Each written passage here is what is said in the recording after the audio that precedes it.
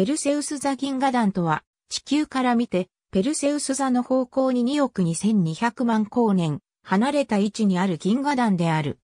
中心部にあるブラックホールは、中央波より57オクターブと、超二度も低い、宇宙で最も低い音を放出している。ペルセウス座銀河団は、最も明るい NGC1275 を代表として190個の銀河を含む銀河団である。赤型変異の値は0.0179であり、秒速 5366km の速度で地球から遠ざかっている。見かけの直径は863分であり、B 等級で12.50の明るさを持つ。ペルセウス座銀河団の中心部はここ10億年間は3000万度の高温のガスに包まれている。ペルセウス座銀河団からは、X 線の放射が最も強い銀河団である。初めての観測は1970年3月1日にエアロビーが観測したものである。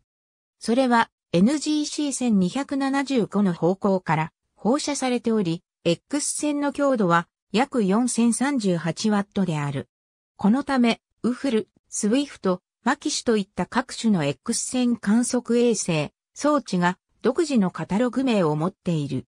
2003年9月1日に NASA は2002年8月8日と10日の計53時間にわたって観測したチャンドラ X 線観測衛星の画像と観測結果を発表した。チャンドラによってペルセウス座銀河団には中心部から広がる波状の構造が発見された。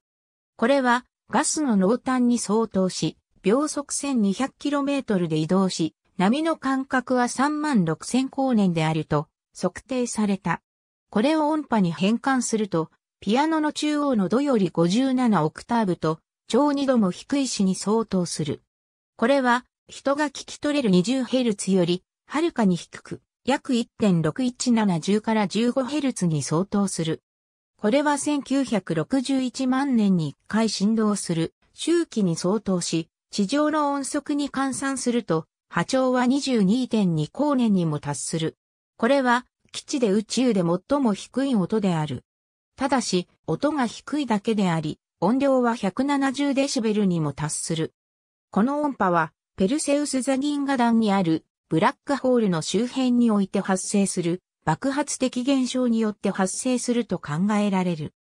この音波がガスに吸収されることによってガスが長年の間高温に保たれていると考えられている。ガスが高温である理由はそれ以前には謎であった。また、中心部から伸びる X 線画像では黒く見える領域2つのは高エネルギーの粒子や磁場が存在しない領域であるが、これはブラックホールによる X 線の活発な活動によってガスが薄くなった領域と考えられている。ガスの薄い領域のそれぞれの直径は5万光年に達する。ブラックホールの活動が活発なのは周辺のガスを飲み込んでいるからであるが、これはブラックホールに吸い込まれている小さな銀河である可能性がある。中央部にある黒い点は、そのような飲み込まれる運命にある銀河の一部である可能性がある。ありがとうございます。